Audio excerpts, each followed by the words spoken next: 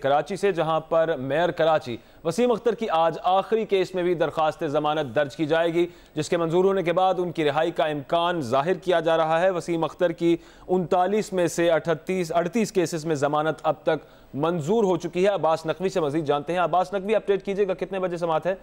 عباس نقوی سے رابطہ کرنے کی کوشش کریں گے۔ فی الحال آپ کو بتاتے چلیں کہ میئر کراچی وسیم اختر جو اس وقت جیل میں ہیں، ان کے خلاف انتالیس مقدمات درج ہیں، جن میں سے اڑتیس میں ان کی ضمانت ہو چکی ہے۔ صرف ایک مقدمہ، ان کی رہائی میں رکاوٹ بنا ہوا ہے، جس کے حوالے سے آج درخواست دائر کی گئی ہے۔ اب سے کچھ ہی دیر بعد اس کی سماعت ہو جائے گی اور امید کی جا رہی ہے کہ اس میں بھی ان کی ضمانت منظور ہو جائے گی۔ عباس نقوی ایک مرتبہ پھر ہمارے ساتھ ہیں۔ عباس نقوی، بتائیے گا کہ کب یہ سماعت شروع ہوگی؟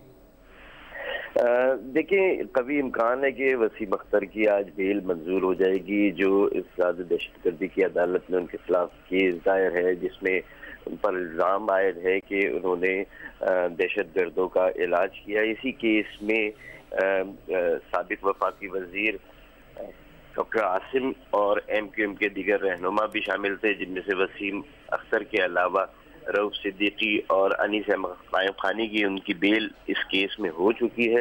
اس حوالے سے ایم کیو ایم نے تیاریاں شروع کر دی ہیں۔